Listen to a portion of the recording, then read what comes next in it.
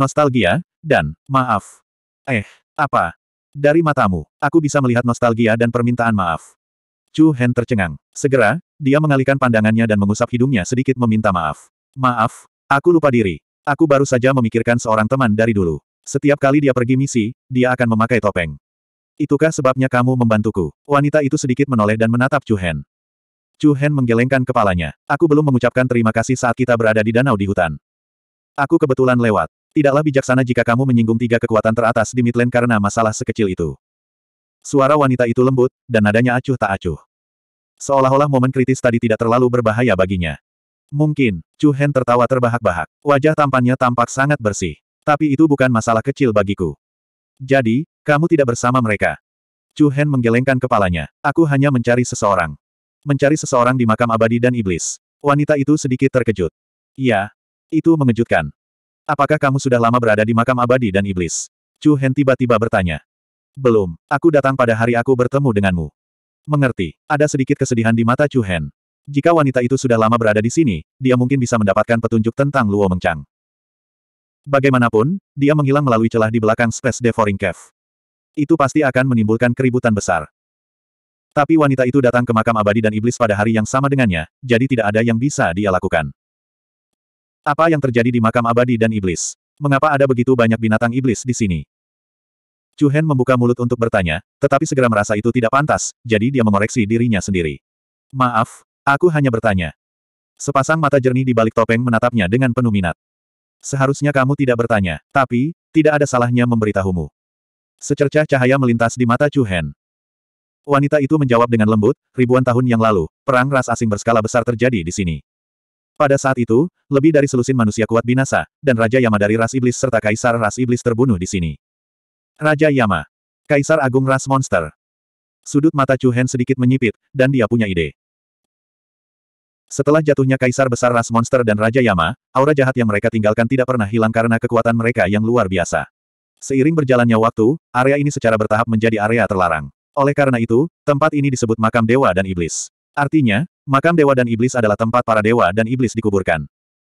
Makam dewa dan iblis mengubur dewa dan iblis. Chu Hen mengangguk, menunjukkan bahwa dia mendengarkan. Klan iblis telah menginvasi makam abadi dan iblis dalam skala besar untuk mengambil tulang kaisar iblis yang tertinggal selama perang besar. Tulang Raja Iblis. Chu Hen tercengang. Bawa kembali untuk dikuburkan. Karena itu masalahnya, itu masuk akal. Mengapa sekte-sekte itu ikut campur? Pihak lain tidak menjawab pertanyaan Chu Hen. Dia berdiri sedikit, dan berdiri di dahan pohon, tinggi dan anggun. Mengetahui gambaran kasarnya saja sudah cukup, tidak perlu tahu terlalu banyak. Iya, Chu Hen mengangguk penuh terima kasih. Berdengung. Ruangan itu bergetar, dan gelombang udara menumpuk. Bersamaan dengan aura yang kuat, lebih dari selusin berkas cahaya menyilaukan turun dari langit, seperti aurora yang turun dari langit, dan mendarat langsung di puncak gunung yang menjulang tinggi. Kelompok orang ini memiliki penampilan yang mengesankan, mengenakan baju perang emas, dan memegang tombak cahaya suci. Mata dingin mereka menunjukkan kilatan tajam. Huff, mereka benar-benar melarikan diri ke makam dewa dan iblis. Suara yang dalam dan dingin dipenuhi dengan rasa dingin.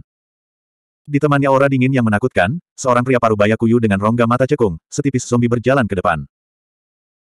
Mata dinginnya yang diliputi cahaya redup menyapu pegunungan dalam yang tak berujung di depannya, dan sedikit senyuman buas muncul di bibirnya yang keriput. Tidak ada yang bisa lepas dariku, King Xiong, hehe. Terima kasih sudah memberitahuku hal ini. Di hutan yang sunyi, Chu Hen menatap wanita misterius di depannya. Sebelum dia bisa mengatakan apa pun, dia tiba-tiba merasakan aura familiar namun dingin. Itu mereka. Chu Hen terkejut, dan dia tidak bisa menahan diri untuk tidak mengerutkan kening. Aku tidak menyangka mereka akan mengejarku sampai ke sini. Aura dingin masih segar dalam ingatan Chu Hen. Saat itu, pihak lain langsung membantingnya ke laut dari kapal emas awan mengalir. Suku Suci Cahaya Sebelumnya, setelah meninggalkan kota Pulau Paus, dia dicegat oleh suku Light Saint dalam perjalanannya.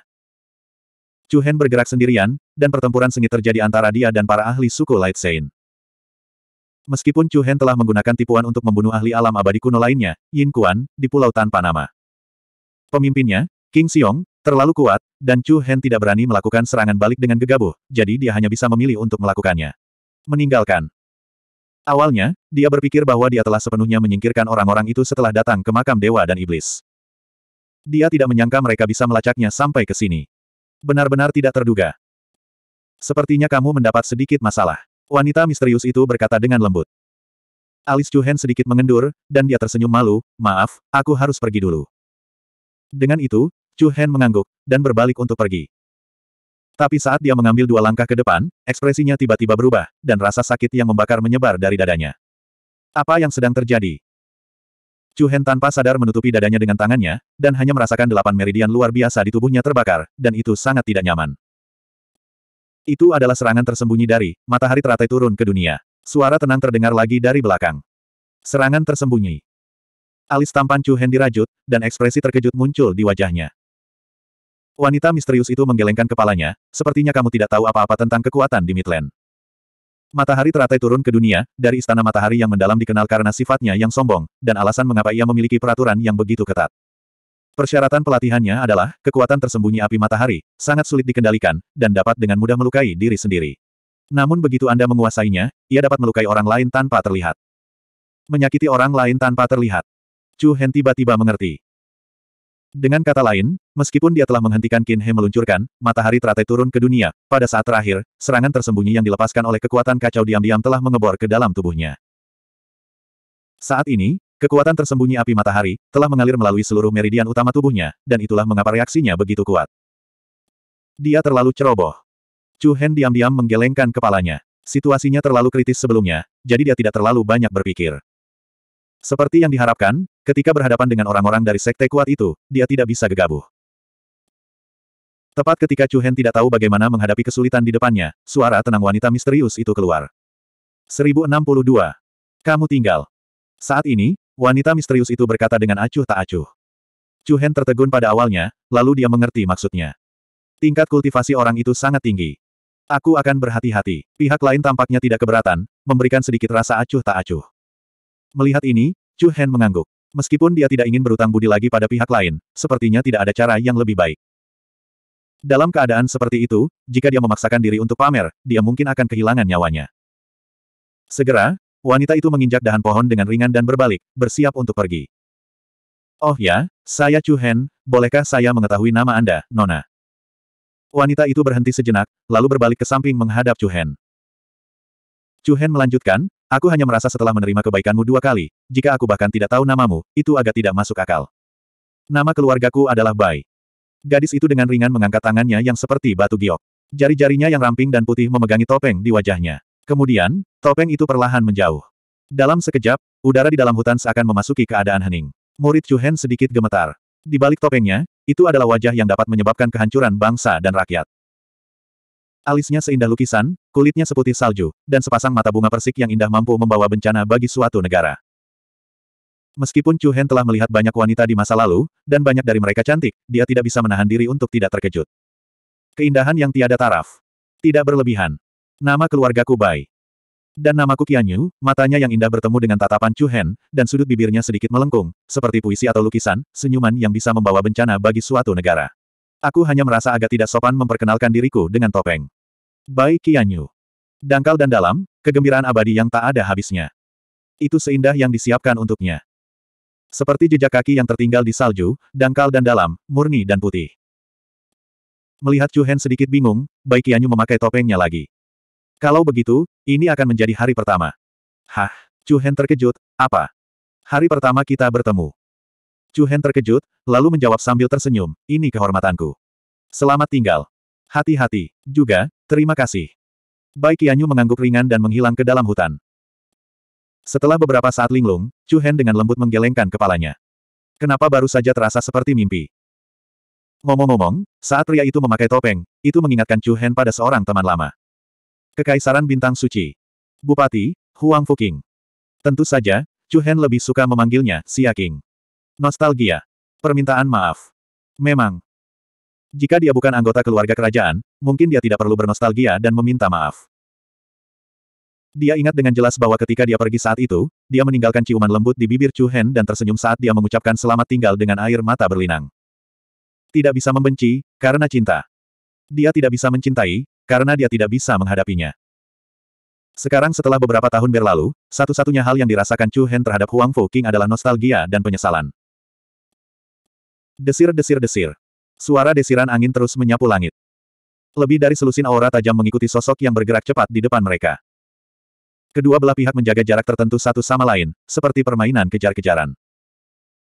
Saat kedua pihak memasuki beberapa ngarai di sisi tebing satu demi satu, aura yang kuat dan kuat tiba-tiba muncul dari para pengejar di belakang mereka.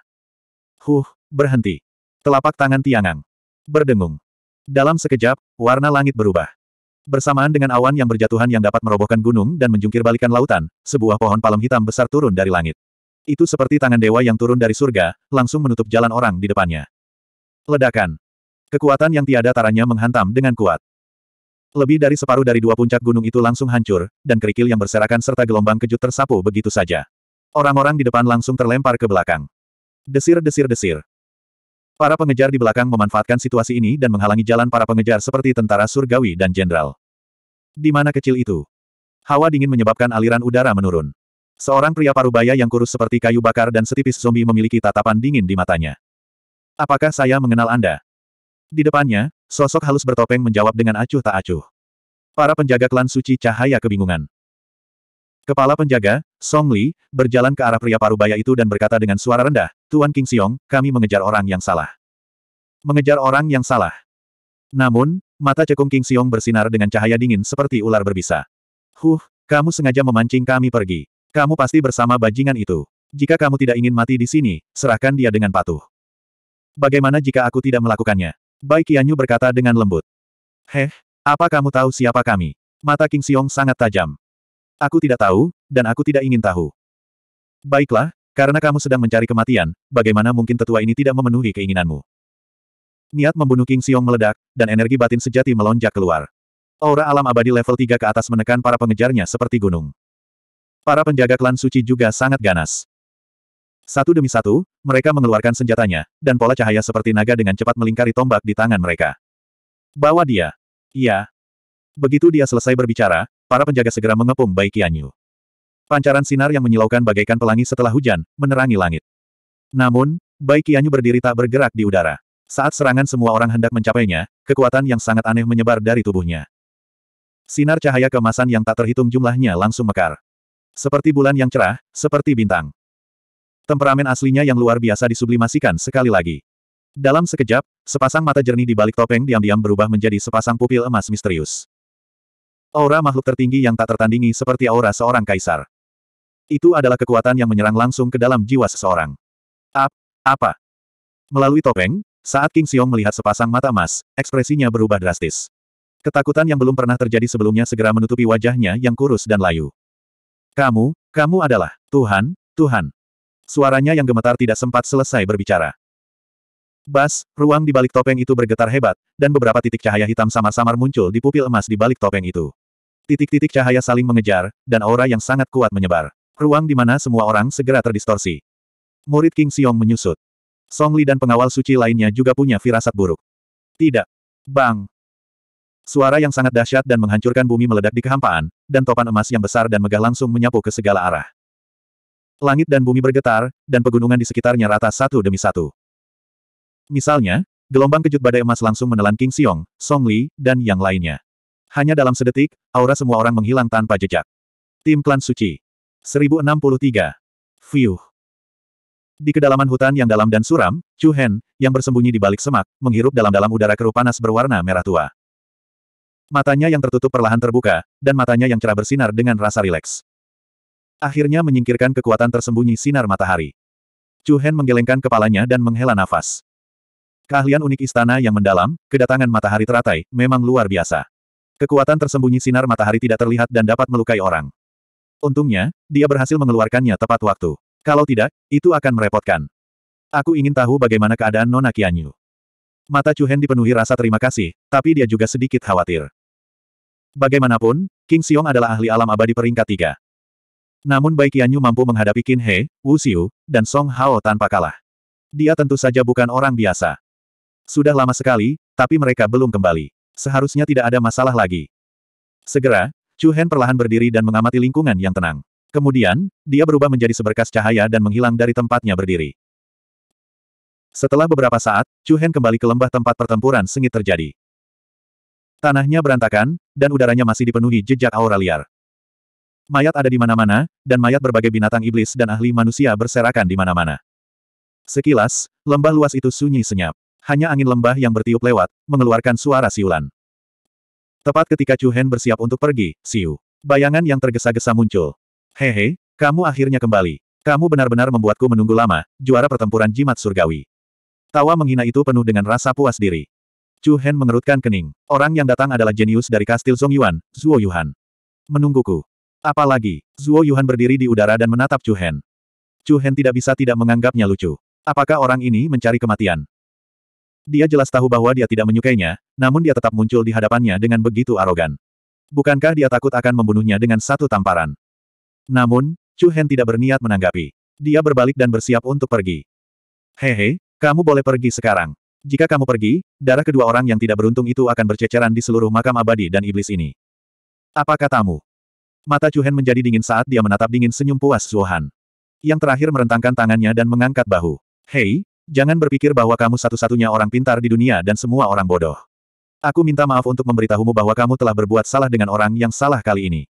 Jika kamu menginginkan keduanya jika mereka masih hidup, maka sebaiknya kau ikut denganku dengan patuh. Setelah mengatakan itu, Zuo Yuhan bergerak dan terjun ke kedalaman ngarai. Chu Hen ragu-ragu sejenak. Apakah ini sebuah tipuan? Atau apakah Kiao Xiaowan dan Han Yizai benar-benar ada di tangan mereka? Setelah merenung sejenak, mata Chu Hen menjadi gelap. Dia kemudian melangkah ke udara dan mengikuti Zuo Yuhan. Bagian depan dan belakang Grand Canyon dikelilingi oleh puncak terjal. Puncak yang lurus itu seperti pilar surgawi yang menembus awan. Di dekat pusat makam abadi dan iblis, terdapat banyak bangunan kuno yang telah berdiri tegak selama ribuan atau bahkan puluhan ribu tahun. Ada istana, pavilion, pagoda. Di bawah erosi angin dan hujan, bangunan kuno ini memberikan perasaan perubahan. Bajingan-bajingan itu bersembunyi dan menolak keluar. Di alun-alun kuno yang luas, tangga batu di sekitarnya ditutupi dengan warna hijau lumut, dan beberapa tanaman gelap suram bergoyang di celah di antara bebatuan. Di tingkat tertinggi alun-alun, ada dua hingga tiga ratus ahli manusia dari kekuatan berbeda.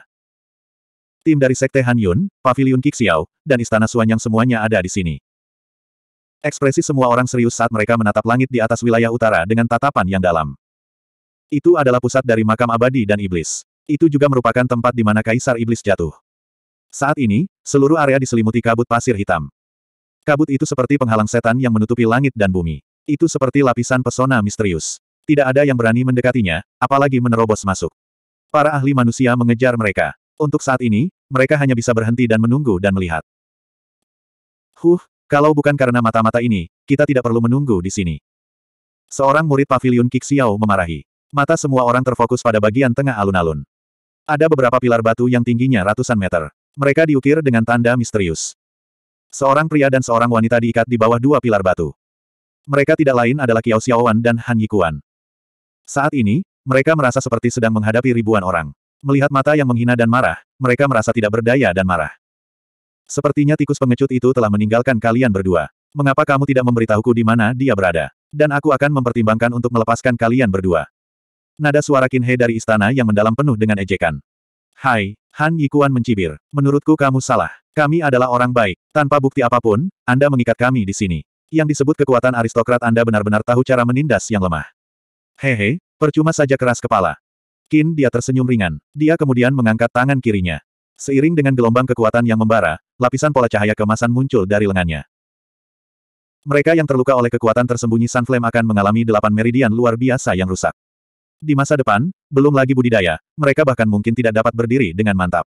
Apakah Anda ingin mencobanya? Ekspresi semua orang sedikit berubah. Mereka memandang Qin He dengan ketakutan di mata mereka. Namun Han Yikuan tidak menunjukkan rasa takut. Hahaha, apa menurutmu aku takut? Izinkan saya memberitahu Anda, jika Anda ingin membunuh saya, lakukan saja. Jangan bicara omong kosong. Oh, Anda berkemauan keras. Tapi, temanmu sepertinya tidak dalam kondisi yang baik. Qin He melirik ke arah Kiao Xiaowan, yang diikat ke pilar batu lain, dengan penuh minat. Saat ini, wajah kecil Kiao Xiaowan tampak tegang, dan dia terengah-engah. Dia tampak mengantuk, dan auranya kacau balau. Itu seperti permusuhan yang tak tertahankan.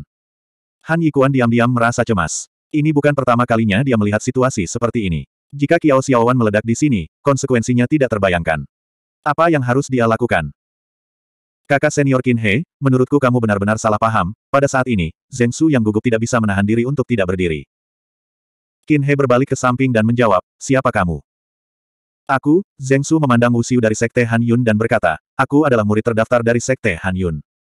Oh, jadi, masalah ini ada hubungannya dengan Sekte Han Yun Anda. Qin dia bertanya pada Wu Xiu. Yang terakhir mencibir dan berkata, kamu terlalu banyak berpikir. Benar-benar, Qin He menatap Zheng Su lagi, dan matanya setajam ujung pedang. Zheng Su kehilangan kepercayaan dirinya seolah-olah dia telah ketahuan. Sepertinya kamu sangat familiar dengan mereka. Aku, Zheng Su tergagap, tidak tahu harus berbuat apa. Apakah kamu juga seorang mata-mata? Tidak, bukan aku. Zheng Su menjadi semakin gugup. Di bawah tekanan aura Qin He, Zheng Su benar-benar bingung.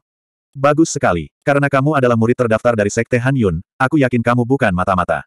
Kalau begitu, Qin He berhenti sejenak, berbalik ke samping, menunjuk ke arah Han Yikuan, dan berkata, kamu pergi dan potong lengannya.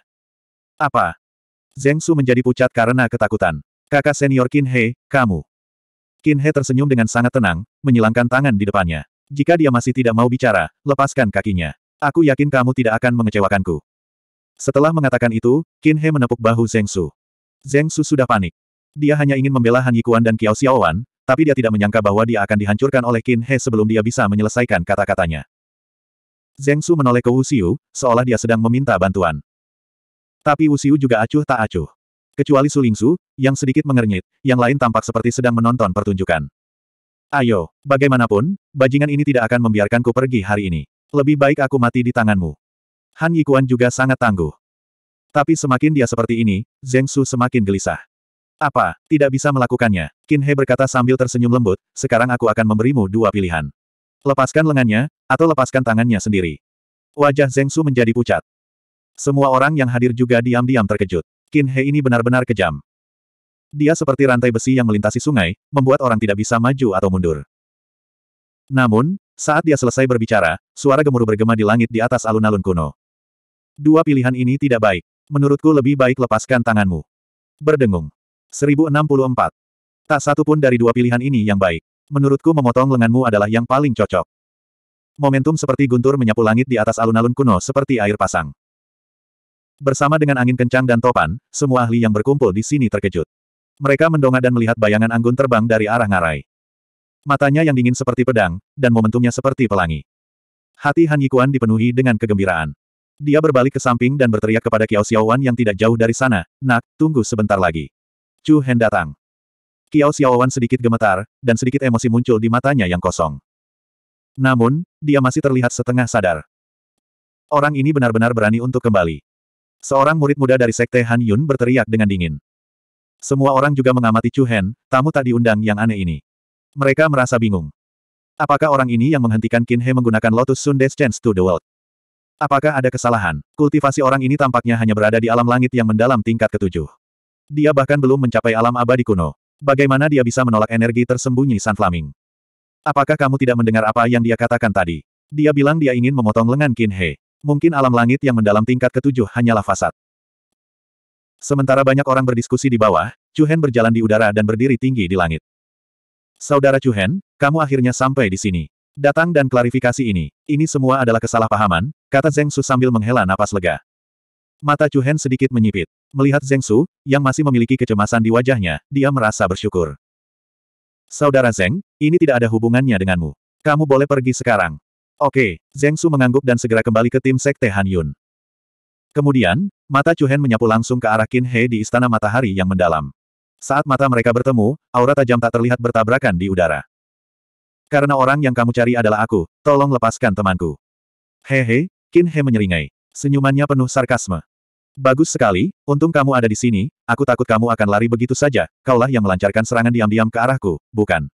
Perasaan kekuatan tersembunyi Sunflame memasuki tubuhmu tidaklah buruk, bukan? Chu Hen mengangkat alisnya. Apa yang kamu inginkan? Sederhana sekali, Qin He berbalik ke samping dan menunjuk ke arah Han Yikuan dan Kiao Xiaowan yang diikat ke pilar batu. Lalu, dia menggelengkan kepalanya ke arah Chu Hen dan terkekeh. Seperti yang kamu katakan tadi, jika kamu tidak dapat memotong lenganku, aku akan memotong lengan mereka hari ini. Dan kepalamu. Berdengung. Niat membunuh dingin yang tak terselubung terpancar dari tubuh Qin He. Jelas sekali bahwa gangguan keturunan Lian yang telah menyebabkan dia kehilangan seluruh harga dirinya. Yang perlu dia lakukan sekarang adalah mendapatkan kembali semua martabat yang telah hilang dari Chu Hen. Di sisi lain, Wu Xiu dari Sekte Han Yun dan Song Hao dari Pavilion Kixiao tampak seperti sedang menonton pertunjukan. Yang terakhir, khususnya, memiliki senyuman malas di wajahnya saat dia berkata dengan nada sembrono, jangan terlalu kejam.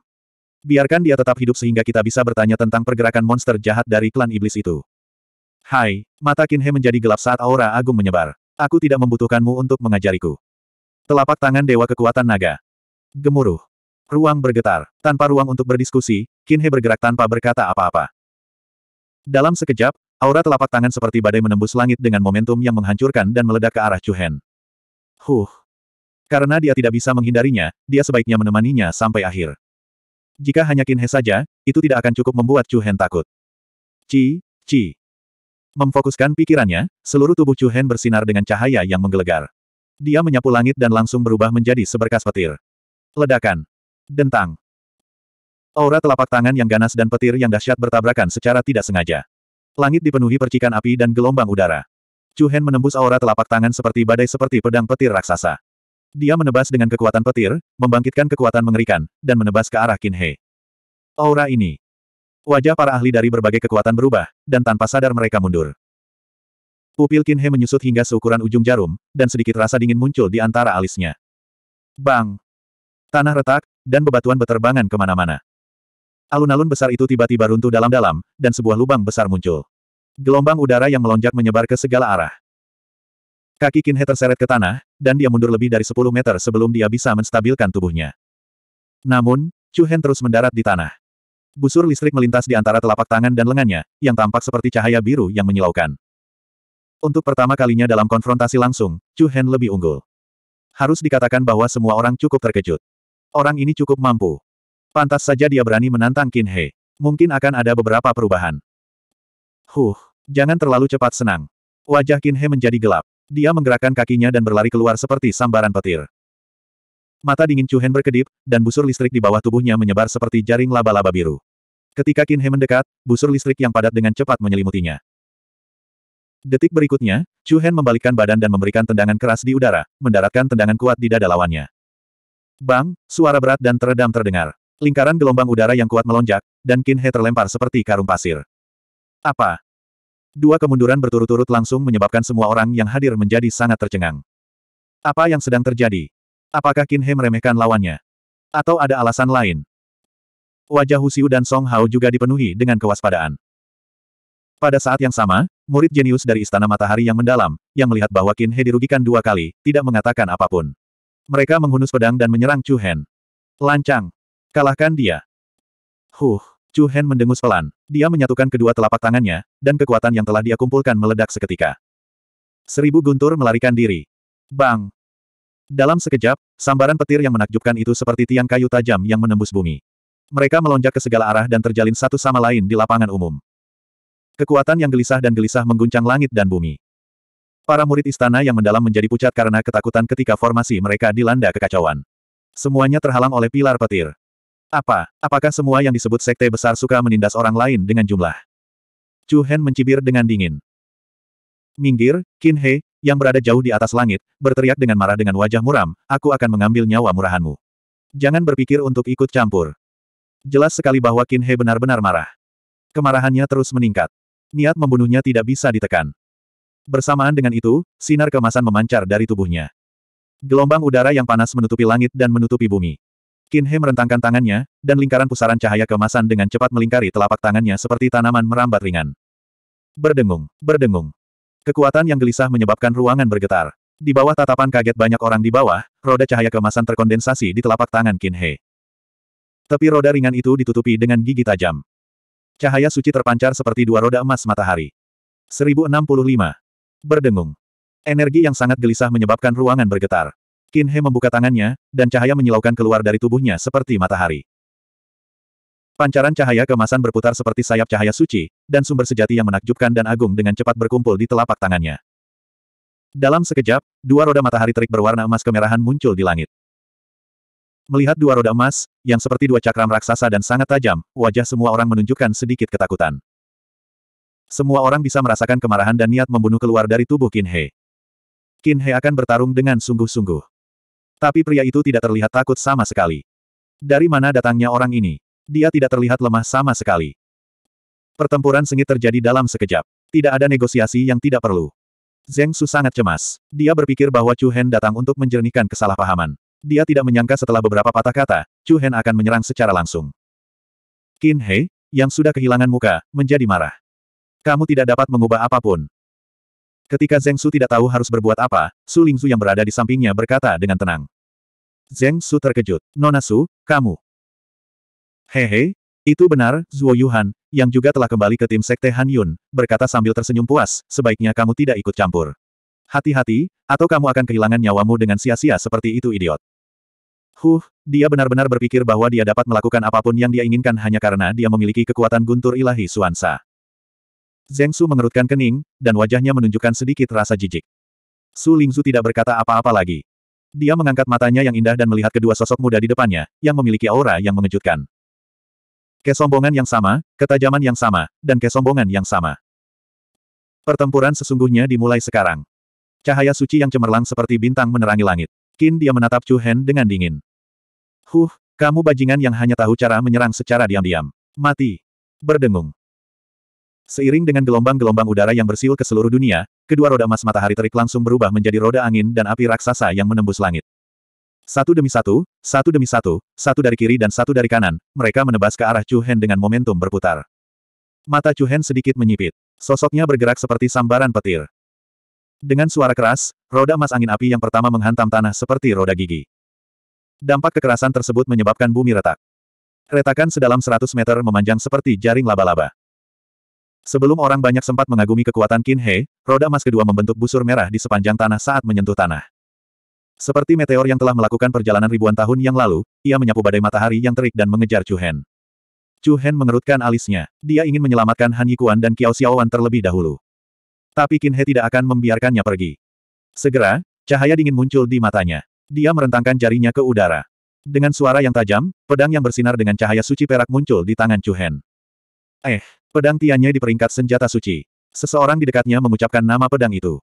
Mendesis. Busur listrik yang ganas bersilangan dengan cepat dan mengelilingi pedang. Tiannya sabre segera bersinar cemerlang. Memegang pedang dengan kedua tangan, Chu Hen mengayunkannya secara horizontal ke arah roda emas angin api yang bersiul ke arahnya. Gemuruh. Petir 3000 volt memiliki aura yang mengerikan. Selama proses menyeret pedang yang sangat singkat, cahaya perak yang mengelilingi pedang Tianyi meluas dengan cepat dan mengembun dengan cepat. Dalam sekejap, seolah-olah Chu Hen sedang memegang pedang ilahi pemisah surga yang panjangnya 4 hingga 5 meter.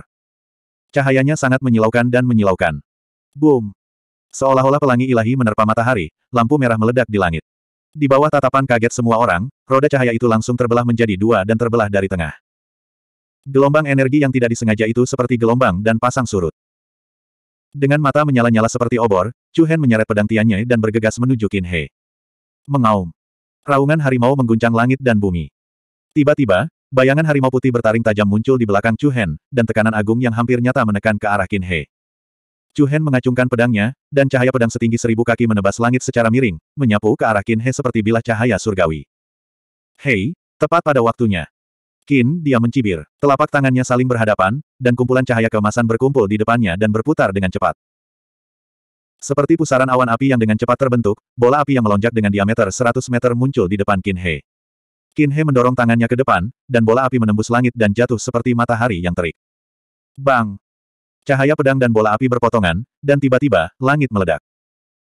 Energi dahsyat yang meletus dari ledakan itu seperti awan api yang terkonsentrasi. Gelombang kejut yang kuat menyebar di langit, bercampur dengan fluktuasi energi yang tak berbentuk dan dahsyat. Hati-hati dengan kekuatan tersembunyi San Flaming. Mundur cepat. Para ahli manusia di alun-alun di bawah semuanya mundur untuk menghindari terjebak dalam baku tembak. Lapisan awan yang membara menutupi langit dan menutupi bumi. Di mana pun awan api mencapai, kekuatan tersembunyi yang membakar matahari akan menyerang. Dalam sekejap, area dalam radius lebih dari seribu meter, dengan Qin He sebagai pusatnya, dipenuhi dengan cahaya merah tua. Huh, Mari kita lihat di mana kamu bisa bersembunyi. Qin He mencibir dengan jijik. Namun, begitu dia selesai berbicara, nyala api ungu tiba-tiba muncul dari langit dan menyebar ke mana-mana. Ini. Kelopak mata semua orang bergerak-gerak, dan mereka terkejut. Bahkan Wuxiu dari Sekte Han Yun dan Song Hao dari Paviliun Setara Surga pun terkejut. Ketika api ungu yang menyihir bersentuhan dengan api emas murni, api emas murni langsung dimakan. Semua orang tahu betapa sombongnya kekuatan tersembunyi terik matahari dari Istana Matahari yang mendalam. Itu berbeda dari nyala api sungguhan. Api biasa hanya membakar tubuh bagian luar, sedangkan kekuatan tersembunyi terik matahari melukai organ dalam. Seringkali, orang-orang takut pada murid-murid istana matahari yang mendalam.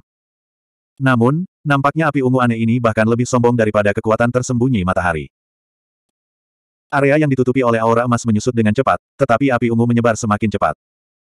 Qin He telah menyerang berkali-kali, tapi dia masih tidak bisa mengalahkan Chu Hen. Mata Qin He dipenuhi dengan rasa dingin dan kesuraman yang intens. Bagian terbaiknya masih akan datang. Berdengung. Angin bertiup, dan awan melonjak. Aura panas yang memenuhi langit dan bumi sekali lagi mengalir ke bumi, dan pancaran cahaya yang menyilaukan menembus awan di langit dan jatuh. Cahaya yang menyilaukan membuat pupil orang di bawah mengecil hingga seukuran jarum. Mungkinkah itu terjadi lagi? Fluktuasi energi yang sangat kuat. Tidak mungkin salah. Ini akan terjadi lagi. Langit sedikit bergetar, dan cahayanya bersinar terang. Puluhan ribu berkas cahaya keemasan jatuh dan berkumpul menjadi teratai emas besar. Teratai itu menghadap ke bawah, dan kuncupnya belum mekar. Itu seperti bintang, seperti matahari ilahi. Cahaya tak berujung itu seperti energi pedang yang tajam, dan semua orang merasakan sakit yang menyengat di kulit mereka. Qin He memandang Chu Hen dengan wajah acuh tak acuh, dan senyum mengerikan muncul di wajahnya. 1066. Karena kaulah yang melepaskan wanita itu, maka, sekarang, giliranmu yang menanggung kekuatan jurus ini. Suara dingin dan acuh tak acuh keluar dari mulut Qin He. Langit bergetar, dan cahaya menyilaukan menyinari sembilan surga. Melihat teratai emas raksasa yang muncul di langit sekali lagi, semua orang yang hadir tidak bisa menahan diri untuk tidak tergerak. Itu seperti bintang, seperti matahari, dan bahkan lebih seperti matahari yang terik. Cahaya tak berujung itu seperti energi pedang tajam yang tak terhitung jumlahnya, dan semua orang di bawah merasakan sedikit rasa sakit yang menusuk di kulit mereka. Aurora bersinar, dan langit di atas alun-alun kuno yang besar menjadi titik buta. Segala sesuatu di dunia ini diselimuti cahaya seperti air pasang. Sosok Chu Hen direduksi menjadi garis besar, dan seolah-olah dia akan ditelan oleh cahaya di detik berikutnya. Han Yikuan, yang diikat ke pilar batu di alun-alun, mengerutkan kening, dan pupil matanya menyusut hingga seukuran jarum. Dia menoleh untuk melihat ke arah Kiao Xiaowan, yang masih linglung, dan merasa sedikit cemas. Gadis, ada apa denganmu? Tetap bertahan. Kiao Xiaowan mengangkat kepalanya dengan lemah dan berkata dengan lemah, ini, ini, tempat ini. Memiliki. Tempat ini. Han Yikuan kaget dan bingung. Apa yang dia bicarakan tadi? Berdengung, berdengung. Ditemani aura yang sangat gelisah dan kuat, teratai emas raksasa yang seperti matahari mengeluarkan aura destruktif yang membuat jantung orang berdebar-debar.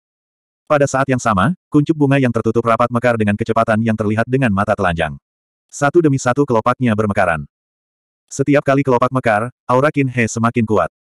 Terselubung cahaya, dia berdiri dengan bangga di langit. Dia menunjukkan kekuatan ilahi yang mengintimidasi. Heh, menggunakan matahari teratai turun ke dunia, untuk membunuhnya sungguh sia-sia. Di tim Sekte Han Yun, Zuo Yuhan tertawa dingin dan bangga. Zheng Su, yang berada di sampingnya, mengerutkan kening dan menjawab dengan tidak senang, kamu berbicara seolah-olah kamu, Zuo Yuhan, memiliki kemampuan untuk mengalahkan saudara Chu Hen. Apa katamu? Wajah Zuo Yuhan menjadi gelap. Huff, kamu pikir kamu ini siapa? Beraninya kamu menudingku. Aku hanya mengatakan yang sebenarnya. Setidaknya, kamu, Zuo Yuhan, bahkan tidak memiliki kualifikasi untuk membuat Qin He menampilkan matahari teratai turun ke dunia. Tak perlu dikatakan lagi, Zheng Su telah mengejutkan Zuo Yuhan hari ini. Di masa lalu, pihak lain tidak akan pernah berani membalasnya. Jika orang-orang dari Sekte Han Yun tidak ada, Zuo Yuhan akan menamparkan Zheng Su.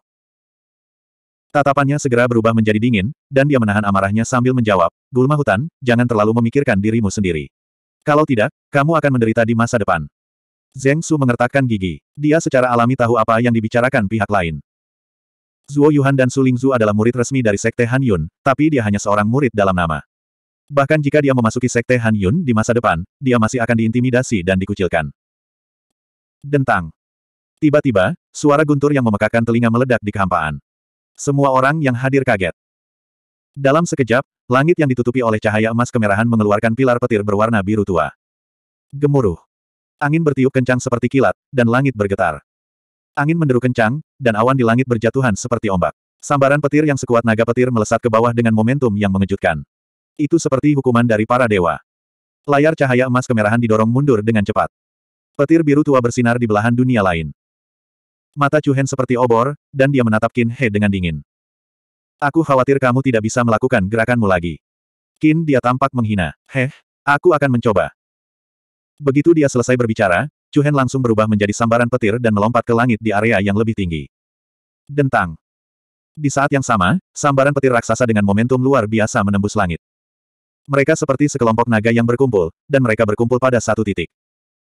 Angin dan awan menderu, dan 3000 guntur ilahi bergerak bersamaan. Mendesis. Mendesis. Suara liar itu terjalin seperti ribuan burung petir yang melebarkan sayapnya dan menangis. Ketika guntur dan kilat yang mengerikan saling terkait, cahayanya bersinar terang dan dengan cepat menembus langit seperti bima sakti di surga kesembilan. Kemudian, di tengah kekuatan guntur kesengsaraan yang tak ada habisnya, cahaya tajam yang sangat dingin menyerang, dan Trisula yang mendominasi tiba-tiba muncul di antara langit dan bumi. Itu adalah ekspresi semua orang berubah. Bahkan Wu Xiu dari Sekte Han Yun, Song Hao dari Pavilion Kixiao, dan yang lainnya tidak bisa membantu tetapi menyipitkan mata. Trisula itu sangat jernih dan berkilauan dengan cahaya biru, seolah-olah terkondensasi dari inti kekuatan guntur dan kilat. Lapisan pola guntur hitam yang mengalir mengelilingi tubuh Trisula, dan menyapu langit. Chu Hen seperti roh penyihir kuno yang mengendalikan guntur kesengsaraan, dan seluruh tubuhnya memancarkan aura destruktif. Tubuhnya bergerak, dan dia langsung menyapu ke sisi Trisula. Dia memegang tubuh Trisula dengan kedua tangan, lalu dia menukik ke bawah, seolah-olah dia sedang memegang pilar petir yang dapat menopang langit, dan langsung menyerang Qin He di depannya. Anginnya secepat kilat, dan kilatnya menyilaukan langit. Antara langit dan bumi, ada sambaran petir dan guntur yang bermekaran. Pada saat yang sama, teratai emas di belakang Qin He telah mekar kelopak terakhirnya, dan senyum dingin dan bangga muncul di wajahnya. Hehe, kamu masih tidak bisa menghentikanku. Matahari teratai turun. Wow, Cahaya seperti matahari segera meletus, dan aura panas meletus seperti gunung berapi, dan pilar cahaya kemasan yang menakutkan dilepaskan darinya. Pada saat yang sama, Chu Hen tiba-tiba bergegas ke depan lawannya, dan Trisula di tangannya ditutupi dengan pola guntur yang mempesona. Cahaya ilahi guntur dan kilat yang terjalin sepertinya terhubung ke jaringan listrik surga kesembilan. Cahaya surgawi, pisau. Teriak Chu Hen, dan jejak guntur dan kilat muncul di matanya. Bila cahaya surgawi, guntur dan petir langit menjulang. Dentang. Ledakan. Di bawah tatapan takjub semua orang yang hadir, Trisula petir yang menembus langit bagaikan pancaran hukuman ilahi yang turun dari langit saat bertabrakan dengan kuat dengan teratai emas besar. Guntur kesengsaraan dan sinar matahari bertabrakan. Dua kekuatan destruktif secara tak terduga bertemu pada saat ini. Kekuatan dahsyat yang belum pernah terjadi sebelumnya meledak di kehampaan seperti tsunami nebula. Gelombang udara yang megah dan bergelombang menyapu ke segala arah dengan kekuatan yang menghancurkan bumi. Tanah di alun-alun di bawahnya terus retak, dan pegunungan di sekitarnya tersapu. Banyak bangunan kuno yang rata dengan tanah akibat badai. Banyak ahli manusia mundur berulang kali, dan semuanya mengerutkan kening, dan hati mereka tegang. Busur petir terbang ke mana-mana, dan kilat menyambar ke segala arah. Badai api berwarna emas kemerahan menyebar secara sembarangan. Dalam gelombang udara dan cahaya yang kacau, semua orang hanya bisa melihat secara samar siluet dua sosok di kehampaan. Orang ini. Dia benar-benar memblokir Lotus Sun Chance. Bagaimana ini bisa terjadi? Dia hanya berada di alam surga yang mendalam tingkat ketujuh. Terkejut. Kejutan mutlak. Bahkan Wuxiu dan Song Hao tidak bisa menahan cemberut. Saat ini, mereka merasa sangat tertekan. Kekuatan Lotus Sun Chance begitu kuat, tetapi Chu Hen benar-benar menghadapinya secara langsung, dan dia tampaknya tidak dirugikan sama sekali. Seberapa kuat ini? Pedang cahaya ilahi. Kembali ke Gunung Kunliu, sebelum meninggalkan negara bagian timur kemenangan, Chu Hen mempelajari salah satu dari dua seni bela diri yang berhubungan dengan kekuatan guntur dan kilat dari gulungan yang ditinggalkan oleh Liu Sang. Salah satunya adalah Tousan Thunder Escape, dan yang lainnya adalah Divine Light Blade. Ketika kedua seni bela diri ini digunakan bersama dengan petir ilahi pembunuh misterius, kekuatan yang meletus juga sangat mencengangkan. Sebelum semua orang bisa pulih dari keterkejutannya, langit yang dipenuhi dengan kekuatan kacau tiba-tiba berkembang dengan cahaya ilahi yang mempesona. Jiwa bintang, tujuh serangan kritis. Apa? Hati semua orang tiba-tiba bergetar. Berdengung, ruangan itu berguncang, dan dalam sekejap, pilar cahaya perak kokoh menembus langit. Seperti pelangi yang mengejutkan, ia mundur dari tangan sosok di atas, dan menghantam sosok di bawah dengan keras. Bang! Suara yang sangat keras bergema di langit. Pilar cahaya perak itu seperti bima sakti, langsung menghantam sosok itu ke bawah. Kekuatan yang tak tertandingi jatuh seperti bintang jatuh. Ekspresi semua orang berubah drastis, dan mata mereka membelalak. Ya Tuhan. Itu Qin He. 1067. Ya Tuhan, ini Qin He. Bagaimana ini mungkin? Getaran yang sangat berat dan keras terjadi di langit. Di bawah tatapan kaget semua orang yang hadir, sinar perak yang menembus langit menghantam tubuh Qin He seperti bima sakti. Bang! Aura yang kuat dan agung menyapu langit. Qin He langsung terkena sinar cahaya padat di kehampaan. Kekuatan yang tak tergoyahkan menindasnya seperti gunung. Qin He hampir harus menanggung seluruh kekuatan. Esensi sejati pelindung berwarna merah keemasan yang menutupi tubuhnya tiba-tiba hancur berkeping-keping. Wajah Qin He berubah drastis. Ia berusaha melepaskan diri dari tekanan gelombang kejut tersebut. Namun, kekuatan yang menimpanya membuatnya tidak bisa bergerak. Ledakan. Pada saat berikutnya, pilar cahaya bintang yang mempesona membombardir Qin He seperti pelangi yang mengejutkan, dan dia jatuh ke alun-alun kuno di bawah. Bumi meledak, bintang-bintang di langit hancur, gunung-gunung runtuh, dan bumi retak. Sinar cahaya perak yang kuat menembus ke dalam kotak seperti pedang ilahi, dan gelombang kejut yang dahsyat langsung terjadi darinya. Lubang besar itu seperti mulut jurang seekor binatang raksasa, mengembang dengan cepat. Retakan dalam yang tak terhitung jumlahnya meluas ke sekeliling. Pecahan batu diledakkan, bersamaan dengan gelombang ki yang kuat, terciprat ke segala arah. Platform Tao di alun-alun runtuh satu demi satu. Pilar-pilar batu yang didirikan pada platform tertinggi Tao juga runtuh dan hancur satu demi satu. Mata Han Yikuan menjadi dingin, dan aura kuat keluar dari tubuhnya. Bang, rantai besi yang melilit tubuhnya langsung pecah menjadi beberapa bagian. Kemudian, Han Yikuan dengan cepat melintas ke sisi Kiao Xiaowan. Dia mengulurkan satu tangan dan menggenggam rantai besi di tubuhnya seperti cakar elang, dan menariknya kembali. Ding, rantai di tubuh Kiao Xiaowan sekali lagi terlepas. Han Yikuan menopang pinggang Kiao Xiaowan dengan kedua tangannya, dan kakinya bergerak di udara, segera melompat ke sisi Chu Hen dalam kehampaan. Maaf, aku telah membuatmu kesulitan lagi. Han Yikuan berkata dengan nada meminta maaf. Chu Hen menggelengkan kepalanya. Akulah yang seharusnya meminta maaf. Kita tidak bisa berlama-lama di sini. Ayo cepat pergi. Sejauh menyangkut Han Yikuan, meskipun Chu Hen telah mengalahkan Qin He, masih ada Wu Xiu dari Sekte Han Yun dan Song Hao dari Pavilion Kixiao. Jika mereka tetap di sini, pada akhirnya merekalah yang akan menderita kerugian. Namun, begitu dia selesai berbicara, dua suara mendesis tergesa-gesa terdengar. Dua sosok muda yang gesit dan galak langsung menghalangi jalan Chu Hen dan dua lainnya. Huff, sungguh orang yang mengejutkan. Namun, jika kamu ingin pergi begitu saja, bukankah kamu terlalu meremehkan kami? Bahkan Song Hao dari Heaven Pavilion mengangkat tangan kanannya, dan serangkaian cahaya merah iblis terjalin dan mengalir di depan lengannya, segera mengembun menjadi pedang berdarah melengkung yang tajam. Usiu dari Sekte Han Yun tersenyum tipis. Tentu saja, kami masih harus berterima kasih. Kami sudah lama menganggap orang sombong ini merusak pemandangan. Melihat dua orang bersemangat di depannya, Chu Hen tanpa ekspresi. Aku khawatir kalian berdua tidak bisa menghentikanku. Oh, Song Hao dan Wu Xiu saling melirik. Yang pertama mencibir, hehe, kenapa kamu tidak mencobanya? Kakak senior Song Hao. Kakak senior Wu Xiu. Pada saat ini, murid-murid Sekte Han Yun dan Pavilion bahkan surga semuanya berteriak kebingungan. Di saat yang sama, para ahli manusia yang hadir juga berada dalam keadaan kacau. Gemuruh. Runtuhnya alun-alun kuno di bawahnya tidak berhenti. Lapisan demi lapisan bangunan runtuh. Bermula dari lubang besar yang baru saja tenggelam, seperti lapisan lumpur yang pecah oleh arus bawah sungai kuning. Plaza besar itu runtuh dari pusat dengan kecepatan yang terlihat dengan mata telanjang. Lubang di tengahnya semakin besar, dan jangkauannya meluas dengan cepat. Itu seperti binatang raksasa dari jurang yang melahap bumi. Dalam sekejap mata, seluruh alun-alun menghilang sepenuhnya. Namun keruntuhan bumi terus berlanjut. Bangunan-bangunan kuno yang sudah ada sejak lama runtuh satu demi satu dan menghilang. Bahkan puncak dan tebing terjal pun tenggelam ke dalam tanah satu demi satu. Dengan sangat cepat, platform langit yang awalnya besar menjadi jurang besar dalam sekejap mata. Tepat ketika kerumunan tidak tahu apa yang terjadi, langit di atas sembilan surga tiba-tiba dipenuhi kabut hitam. Gelombang aura kuat dan gelap datang dari jurang besar di bawah. Gelombang udara dingin itu seperti arus dingin dari akhirat. Ekspresi semua orang berubah, dan banyak dari mereka menunjukkan ekspresi gugup. Kiao Xiaowan meringkuk di pelukan Han Yikuan. Wajah kecilnya sedikit pucat, dan nadanya dipenuhi kecemasan. Bagus, kuat, aura jahat. Aura jahat. Gemuruh. Segera setelah itu, bumi terus berguncang. Gelombang aura gelap dan jahat menyembur keluar dari jurang di bawah dan melonjak ke langit. Hati semua orang melonjak karena firasat buruk. Tampaknya ada ritme aneh, halus, dan melamun yang menyebar antara langit dan bumi. Itu seperti tawa jahat dari setan yang menari. Diiringi suara gemuruh bumi yang bergetar, awan kabut hitam pun membumbung. Di dalam kabut hitam, ada patung batu raksasa. Melihat patung-patung batu yang muncul dari tanah, ekspresi semua orang yang hadir sangat berubah. Bahkan murid Wuxiu dan Song Hao sedikit menyusut. Setiap patung batu tingginya ratusan kaki. Mereka memiliki wajah yang garang, dan penampilan mereka sangat menakutkan. Mereka memiliki wajah, taring, cakar, dan sisik naga yang ganas. Mereka seperti setan asura dari neraka. Beberapa memiliki sayap di punggung mereka, memegang trisula di tangan mereka, dan mengaum ke langit. Beberapa orang bersujud di tanah, mengulurkan tangan tajam mereka, dan memandangi naga iblis di langit. Ada juga manusia kadal dengan kepala kadal, tubuh manusia, dan ekor raksasa. Aneh. Ganas. Bahkan lebih ganas lagi. Total ada 24 patung batu. Ini semua setan, seseorang di antara kerumunan itu berteriak ketakutan.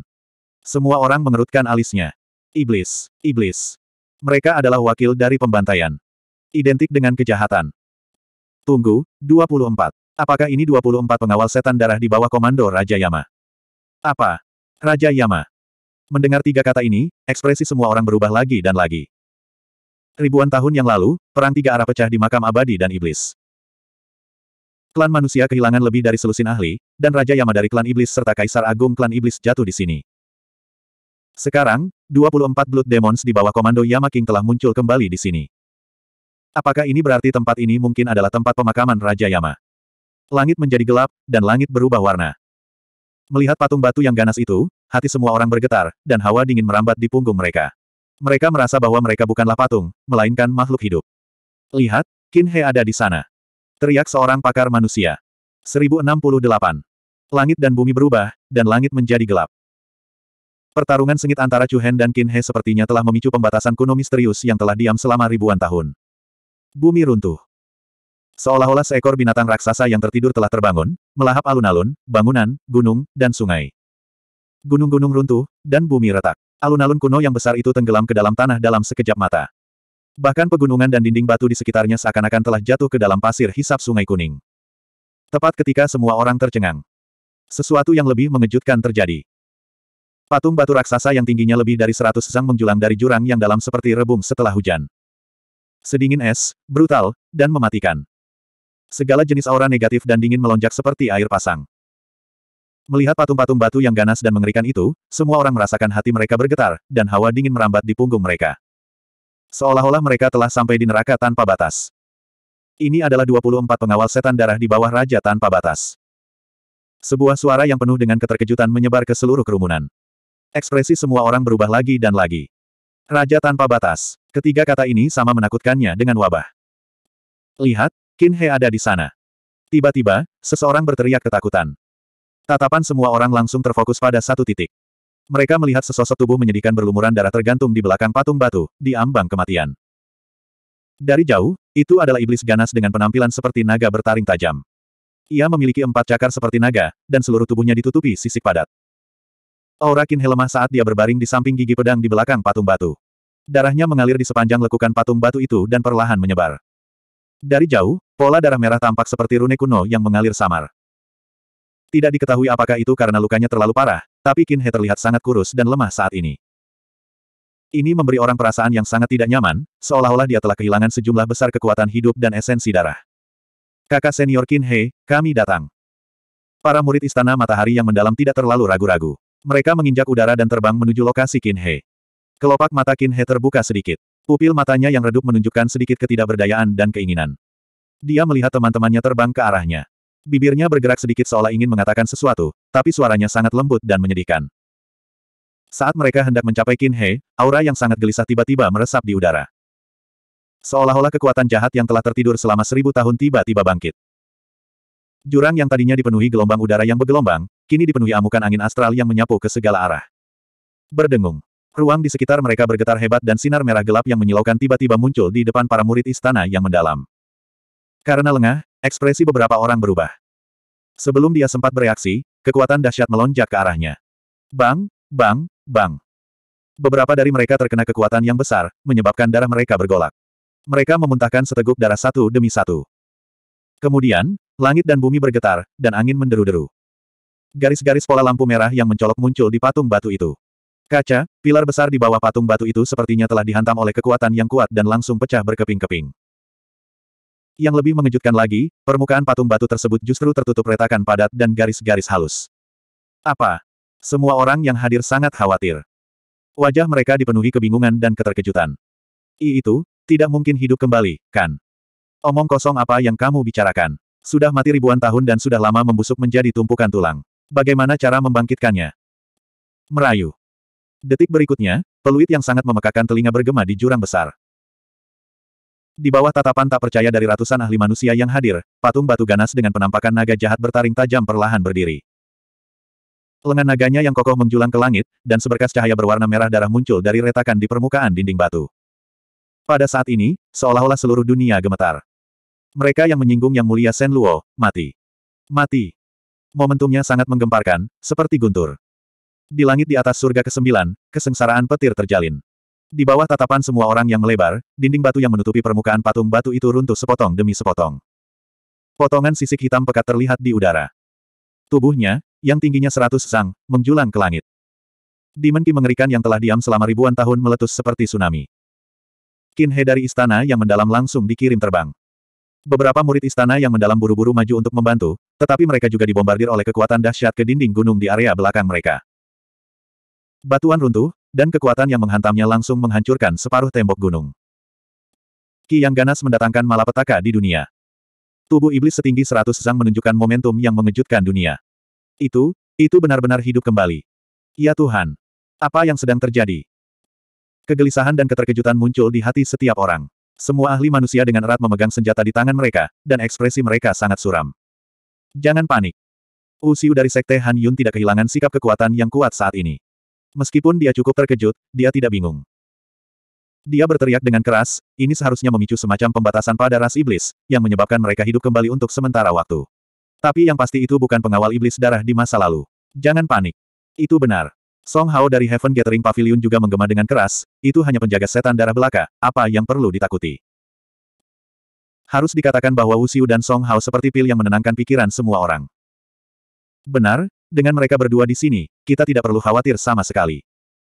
Siapa yang peduli kalau itu adalah Blood Demon yang hidup kembali? Ayo kita bunuh lagi. Menyerang.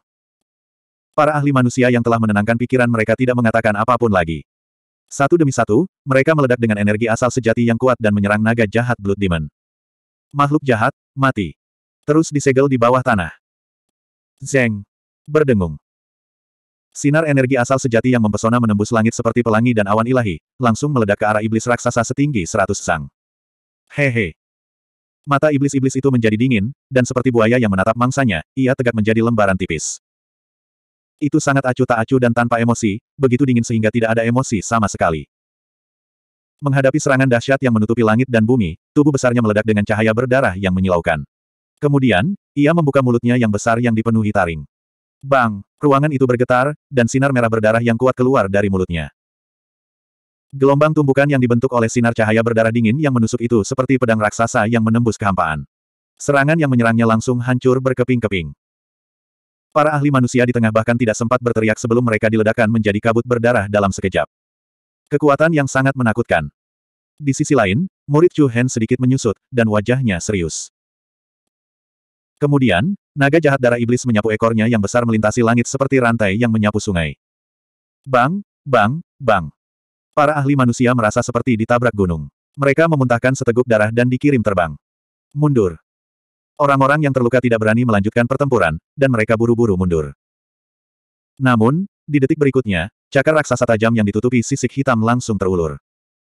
Bayangan hitam menutupi bagian atas kepala mereka, dan cakar raksasa itu seperti jaring besar, langsung mencengkeram beberapa orang dengan kuat di telapak tangannya. Brengsek. Beberapa orang sangat ketakutan, dan mereka berjuang sekuat tenaga. Hehe.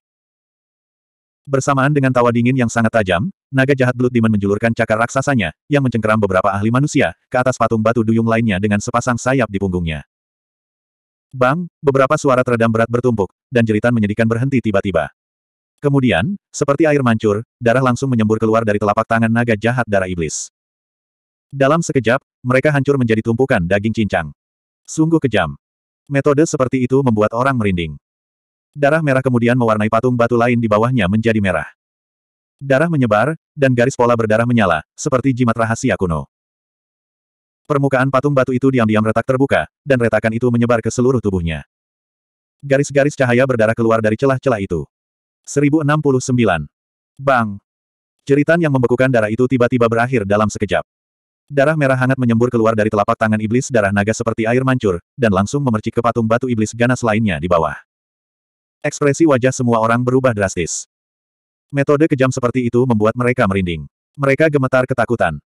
Lalu, sesuatu yang lebih mengerikan terjadi. Darah menyebar ke seluruh permukaan patung batu itu seperti tanaman merambat dari neraka. Seolah-olah rune kuno telah terbangun. Seiring dengan retakan yang terbuka, sinar cahaya merah darah keluar darinya. Gelombang aura iblis ganas lainnya menyebar ke segala arah. Itu berguncang hebat dan menelan seluruh lembah sekali lagi. Ha! Uh! Langit dan bumi dipenuhi dengan jeritan setan. Dua dari 24 pengawal setan darah telah dibangkitkan dalam sekejap. Hati setiap orang dipenuhi dengan keterkejutan dan kegelisahan. Bagaimana dengan 22 lainnya? Begitu mereka semua terbangun, konsekuensinya tidak terbayangkan. Jangan hanya berdiri di sana. Ayo serang bersama dan hentikan mereka. Ayo cepat. Jangan menunggu Blood Demon lainnya dibangkitkan. Meskipun semua orang terkejut, mereka tidak bisa mundur sekarang. Tidak ada yang tahu apakah patung batu lainnya akan dibangkitkan. Mereka tidak tahu apa konsekuensinya. Satu-satunya hal yang bisa mereka lakukan sekarang adalah menghentikan situasi agar tidak bertambah buruk. Desir. Usiu dari Sekte Han Yun tidak mengatakan apa pun. Dia terbang seperti anak panah yang tajam. Matanya menjadi dingin dan auranya melonjak. Dia menyatukan kedua telapak tangannya dan mengatupkan jari-jarinya. Dia berteriak. Pagoda awan. Dengeng dengungan. Sembilan langit bergetar. Angin dan guntur bergulung. Aura agung bagaikan gunung yang turun dari langit. Bayangan hitam menutupi langit. Sebuah pagoda kuno memancarkan aura transenden menembus awan. Itu menembus kubah biru surga dan langsung menekan iblis darah naga jahat di bawah. Bang! Langit dan bumi tiba-tiba kehilangan warnanya. Topan yang kuat melonjak di langit. Tubuh besar iblis darah naga bergetar hebat, dan kepalanya, yang terangkat tinggi, ditekan dengan kuat. Meski auranya melemah, ia tidak bisa bergerak sedikit pun. Ia masih sombong dan geram. Ia mengangkat pagoda besar dan meraung ke langit. Uh! Aura ganasnya mengguncang langit. Sisik hitam di tubuhnya terhubung erat, dan sinar merah darah yang pekat muncul dari tubuhnya. Kaca. Kecepatan menekan pagoda di awan segera dihentikan, dan retakan yang dalam meluas dari bawah ke atas pagoda. Alis Wuxiu berkerut saat dia mencoba yang terbaik untuk menstabilkan menara Cloud. Lagu Hao. Huff, aku tidak perlu kamu mengingatkanku. Seiring dengan serangan balik yang sedikit tidak memuaskan, bayangan putih muncul di udara. Bayangannya melompat dan berkelebat seperti hantu. Us. Dalam sekejap mata, Song Hao telah tiba di depan iblis darah naga jahat tanpa ada yang menyadarinya. Song Hao mengangkat bilah lengan tajam di tangannya dan menunjukkan senyuman sinis saat dia melihat iblis raksasa setinggi seribu kaki yang ditembaki oleh Cloud Pagoda. Huff, teruslah tidur, bibit jahat dari ras iblis. Bilah hantu menangis. Suara mendesing. Cahaya yang beresonansi dan tajam bersiul di udara saat Song Hao mengangkat tangannya dan tiba-tiba menusuk ke depan. Dalam sekejap, seberkas cahaya merah darah dari bilah pedang itu seperti pelangi ilahi yang menembus langit, dan itu menunjukkan kekuatan penghancur. Pupil tipis iblis darah naga jahat bersinar dengan cahaya dingin. Bang, dengan suara tumpul, sinar cahaya pedang berwarna merah darah menembus bagian tengah dada naga jahat setan darah seperti pedang besar aurora yang disodorkan Song Hao dari tangannya.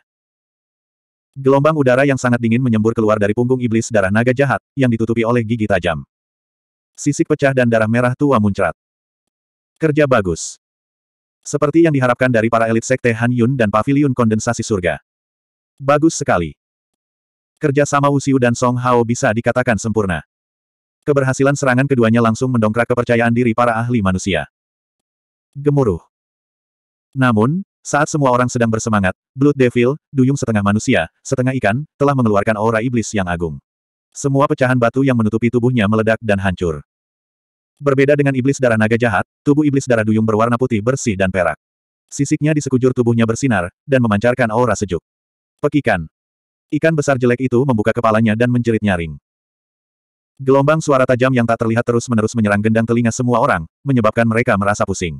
Kemudian, bumi berguncang, gunung-gunung berguncang, dan arus deras menderu. Air terjun tsunami yang mengerikan datang dari belakang setan darah putri duyung itu tanpa peringatan apa pun. Apa? Ekspresi semua orang berubah. Sebelum mereka sempat berbuat apa-apa, gelombang air terjun itu seperti amukan laut yang menerobos bendungan. Ia menyapu ke bawah, seperti gelombang ribuan binatang buas, dan menghancurkan ahli manusia di depannya menjadi berantakan. Air terjun yang dahsyat itu sangat ganas, dan bisa dikatakan mampu merobohkan gunung dan menjungkir balikan lautan. Bahkan Wuxiu dan Song Hao hanya bisa memilih mundur. Keduanya segera memisahkan diri dari pertarungan dengan iblis darah naga jahat, dan masing-masing berubah menjadi seberkas cahaya. Ledakan. Hampir di saat yang sama, menara raksasa di awan yang menekan iblis darah naga jahat meledak menjadi ribuan keping. Mengaum. Iblis darah naga jahat melompat, dan sekali lagi berdiri tegak dengan aura yang mengejutkan. Ekspresi semua orang berubah lagi dan lagi. Masih belum mati. Usiu dan Song Hao saling memandang, dan mereka tidak bisa menahan diri untuk tidak mengerutkan kening. Serangan tadi sudah pasti mengenai bagian vitalnya. Biarpun dia tidak mati seketika, dia pasti tidak akan bisa bangun. Namun, bukan itu masalahnya. Bukankah vitalitas klan iblis terlalu menakutkan? Han Yikuan, yang telah mundur dari pertempuran, tidak bisa menahan diri untuk tidak menggelengkan kepala dan menghela nafas. Kemudian, dia menoleh ke Chu Hen dan berkata, lebih baik kita pergi sementara orang-orang ini tidak punya waktu untuk peduli pada kita. Sudut mata Chu Hen sedikit menyipit. Pandangannya tertuju pada pertempuran sengit dan kacau di depannya, serta lebih dari 20 patung batu yang ganas dan mendominasi. Setelah merenung sejenak, dia berkata, kalian pergi dulu. Mengapa? Han Yikuan tidak mengerti. Sekarang adalah waktu terbaik untuk pergi. Apakah kamu masih ingin peduli dengan kehidupan orang-orang ini? Chu Hen menggelengkan kepalanya. Seharusnya ada rahasia lain di sini. Saya akan tinggal lebih lama dan melihat apakah saya dapat menemukan petunjuk tentang keberadaan Meng Chang. Ini sudah menjadi pusat makam abadi dan iblis. Jika terowongan melahap spasial di wilayah Suan Sasiao terhubung ke makam abadi dan iblis, kemungkinan besar terowongan itu berada di area ini. Meskipun situasi saat ini sangat kacau, Chu Hen tidak mau melepaskan kemungkinan sekecil apa pun. Saya mengerti. Anda harus berhati-hati. Han Yikuan mengangguk, dan segera mundur bersama Kiao Xiaowan. Mereka tidak takut akan masalah, tetapi mereka berdua tahu bahwa dalam situasi ini, mereka hanya akan menjadi beban bagi Chu Hen. Gemuruh. Banjir melanda, dan formasi para ahli manusia segera menjadi kacau balau. Ekspresi semua orang sangat suram. Hanya dua Blood Demon Guard saja sudah cukup untuk membuat mereka bingung. Sulit membayangkan betapa menakutkannya 24 Blood Demons berada di puncaknya. Keke. Sebelum semua orang bisa tenang, iblis darah naga mengulurkan anggota tubuhnya yang panjang dan tajam dan naik ke patung batu lain seperti kadal raksasa. Itu adalah patung batu berbentuk harimau ganas. Tubuhnya dingin, dan memancarkan aura pembunuh yang tak berbentuk. Apa yang coba dilakukannya? Hati semua orang berdebar-debar. Kemudian, murid semua orang menyusut. Setan darah naga jahat benar-benar merobek luka di dadanya.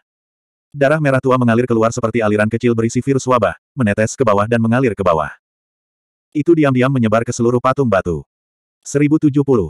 Apa? Melihat pemandangan di depan mereka, semua ahli yang hadir menjadi pucat pasi. Setan darah naga merentangkan keempat anggota tubuhnya yang panjang dan tajam. Itu seperti kadal raksasa yang merangkak di atas patung batu berbentuk harimau ganas. Cakar berbentuk sabit langsung merobek luka di dadanya. Darah merah tua itu seperti mata air yang penuh wabah dan racun. Itu menetes ke bawah dan perlahan berkembang di patung batu di bawahnya. Ruang berguncang, dan langit berguncang. Pikiran semua orang bergetar pada saat bersamaan. Kaca. Retakan mulai menyebar di permukaan patung harimau ganas itu. Pola lampu merah iblis bersinar dengan cahaya yang menyilaukan. Setan darah naga mengangkat kepalanya dan memandang Wu Song Hao, dan yang lainnya di depannya. Sudut mulutnya melengkung, memperlihatkan senyuman jahat. Berdengung. Aura pembunuh yang mengerikan terpancar dari patung harimau ganas itu. Seiring dengan jatuhnya pecahan dinding batu, aura pembunuh yang sangat kuat melonjak. Kemudian, iblis darah naga mendorong anggota tubuhnya dan melompat ke udara. Ledakan. Dalam sekejap, pilar cahaya tebal berwarna merah darah melesat ke awan. Angin menderu-deru, dan awan bergolak. Gelombang energi menyapu langit. Raungan harimau yang memekakkan telinga bergema. Gelombang energi yang luar biasa menyebar ke segala arah.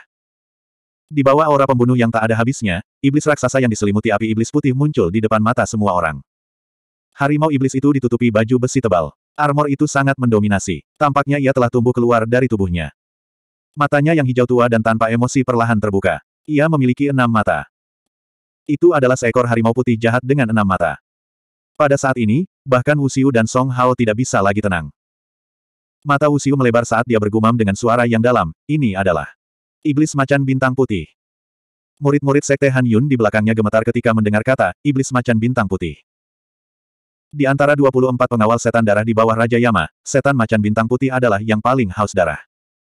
Itu adalah lambang pembunuhan dan kekejaman. Itu sangat kejam dan tanpa ampun. Ke mana pun iblis macan bintang putih pergi, orang-orang akan terjerumus ke dalam kesengsaraan dan penderitaan. Darah akan mengalir seperti sungai. Mengaum. Raungan nyaring sepertinya mengumumkan dimulainya pembantaian.